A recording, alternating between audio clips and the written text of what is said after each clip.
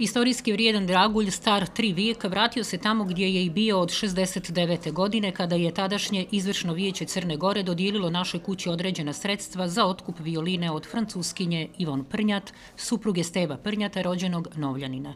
Posljednjih nekoliko mjeseci ovaj instrument bio je u sefu Centralne banke. Danas ćemo konačno crnogorskoj javnosti, ali ne samo crnogorskoj, predstaviti nešto što je blago, kulturno blago, ne javnog servisa, niti Crne Gore, već svjetskog kulturno blago. Želim e, da zahvalim prvenstveno e, prijateljima iz Centralne banke koji su u prethodnom periodu e, čuvali violinu, naravno u adekvatnim uslovima, jer je dugo ona bila čuvana u veoma neadekvatnim uslovima. Želimo da ovaj događaj bude dio kolektivnog sjećanja, a na uh, našu zadovoljstvo i veliku privilegiju moramo reći da nam je ovo jedna ozbiljna obaveza da uz adekvatan protokol vodimo brigu i pažnju ovom dragocijenom instrumentu. Mi smo uvjereni da će ovo biti inspiracija mnogim virtuozima da ožive čarobne zvuke naše violine. Držati gvarneri violinu u rukama isto je što i posjedovati sliku Picasa ili Van Gogha. I za umjetnika je to, kako kaže Verica Čuljković, neprocijenjiva vrijednost. Danas, nažalost, nismo iz tehničkih razloga